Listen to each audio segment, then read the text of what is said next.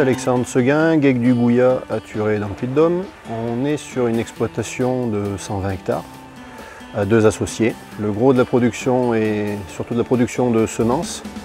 Donc on a 37 hectares de maïs semences. On fait des plants d'ail semences aussi. Après on a une partie bulbe de consommation, échalotes et pommes de terre. Et après euh, des grandes cultures, euh, blé, euh, variétés améliorantes euh, en protéines et aussi un peu de maïs conso pour la semoulerie.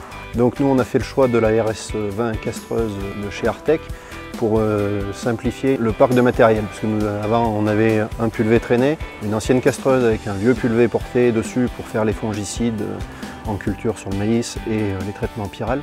Donc avec cet appareil, on n'a plus qu'un seul, un seul outil. Cet automoteur nous permet aussi de, mettre l'épandeur d'engrais à l'avant, ce qui nous évitera de changer les, voies des tracteurs pour le vu au nombre de cultures qu'on qu a sur l'exploitation, chose qu'on faisait régulièrement, dix 10 fois par an, changer les roues et les voies des tracteurs.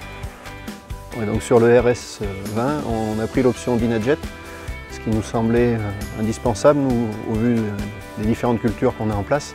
Euh, afin d'optimiser au mieux la pulvérisation et de, de garder au maximum l'efficacité et selon le, temps qu'on a imparti pour euh, réaliser les traitements, d'avoir une, une, optimisation vraiment de la pulvérisation.